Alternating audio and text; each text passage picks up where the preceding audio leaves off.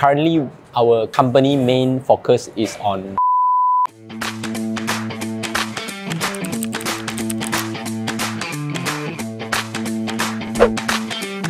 Hi everyone, I'm Xun. I'm the director.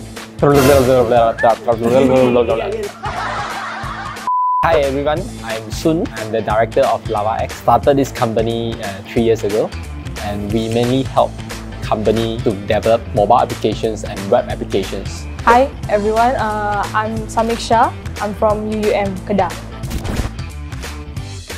LavaX, we are a software company where we help our client. They are from overseas, like from UK, from Australia, from US, or from Malaysia. So we help our client to develop mobile applications and web applications for them. Why the name LavaX? That's because we are like a bunch of young people and passionate just like lava. We have hot temperatures, a group of young people that is passionate and working on stuff. So that's why we name it Lava X. What is the technology that Lava use? Currently, our company main focus is on JavaScript. So with the JavaScript,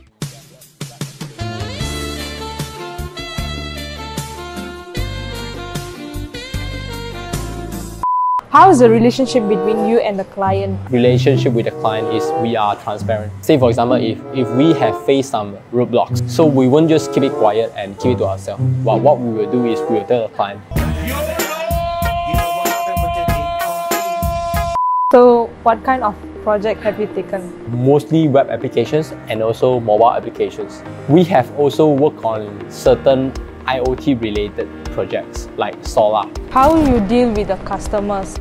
So it's usually through email or through phone call. After that, we will have like a video call. It's either video call or face-to-face meetings. What is the duration of making a project?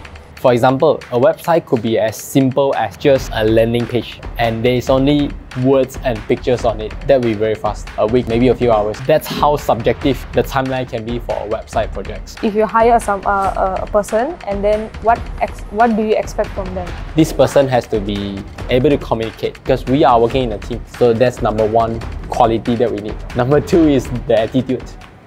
I'm this year, not a very big gap, lah, but I think got some gap. lah.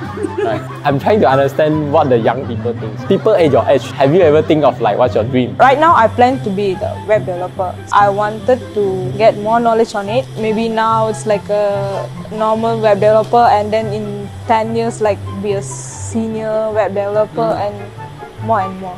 Maybe I can give you one advice also. Go, go and try out as much things as you can. Maybe you can start working on this small list and to figure out what you don't want to do in 10 years time. By taking off the things one by one from your list, you will know about yourself and your futures better. If you or your friends are looking for a job, whether it is uh, intern or, or full-time or part-time, if you are looking for a programmer job, check out our website. It's here, lavax.co.